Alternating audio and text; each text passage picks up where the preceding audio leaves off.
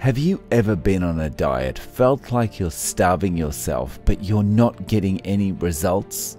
Then this video is for you. In this video, I'm going to talk about why low calorie diets are stupid and what you should be doing if you want to lose weight. I'm Dave Mac and I recently lost 34 pounds and I'm going to show you exactly how I did it. But before we get into it, please do me a huge favor, smash the like button under this video, subscribe and turn on all notifications. It really helps me to grow this channel.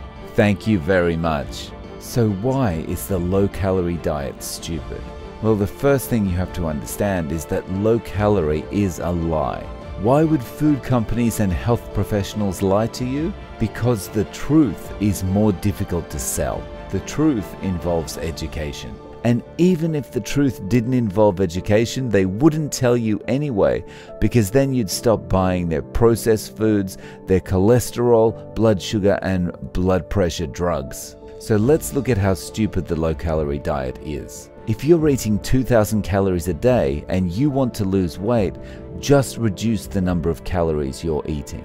Sounds easy, right? Trouble is, it's a gross oversimplification because a calorie is not a calorie. The low calorie diet and the just cut calories theories rely on a fallacy. And that fallacy is calories in, calories out.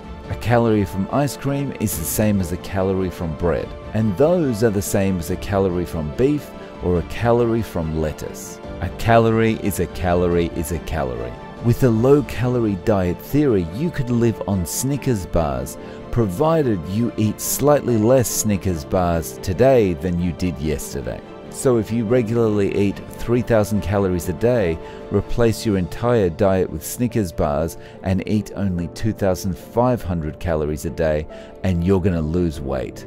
Instant weight loss. Well, no. The first problem with this idea is a calorie is not a calorie. Let's say you eat 200 calories of wild salmon.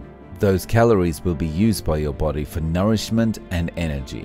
There is very little your body can't use from a piece of wild salmon. There's very little waste. Contrast that with 200 calories of candy. The only thing those calories can be used for is energy. And if you don't need the energy right now, what's going to happen to those calories? Stored as fat. So this is the first reason that low calorie diets don't work. A calorie is not a calorie.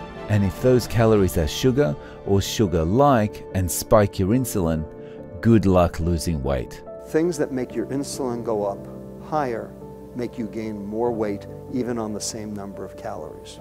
The second reason that low calorie diets are stupid and don't work is that they are unsustainable. And if you've ever tried a low calorie diet, you'll know that. How else do we know that a low calorie diet is unsustainable? How many people do you know that have stuck to any particular low calorie diet for any extended period of time? One year, two years, three years? That's right, none. Because it's impossible. It's impossible to starve yourself thin. Not to mention that a low calorie diet will cause issues with your metabolism.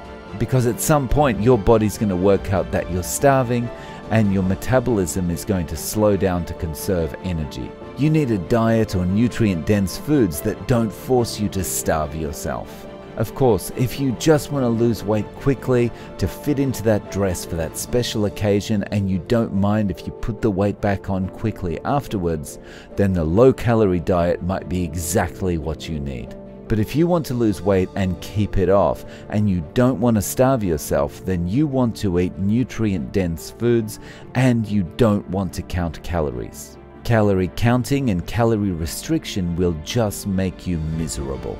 Screw the calories and just eat the nutrient dense food your body needs and keep you feeling full afterwards. No more starvation sounds good, right? So here are the foods that you need to eat beef, fish, lamb, chicken, cheese, eggs, bacon, butter. Here are the foods you should avoid processed food, cereals, breads, pasta, rice, fruit, vegetables, any food with added sugar, any food labeled low fat, Alcohol. The foods from the do eat list will keep your insulin regulated. The foods from the do not eat list will spike your insulin and leave you feeling hungry. And look at me 34 pounds lighter, 34 pounds down and feeling awesome. And you can do it too. Follow me for more videos about health and weight loss. Click the like button, subscribe, and turn on all notifications. Thanks for watching guys, I'm looking forward to seeing you in the next video.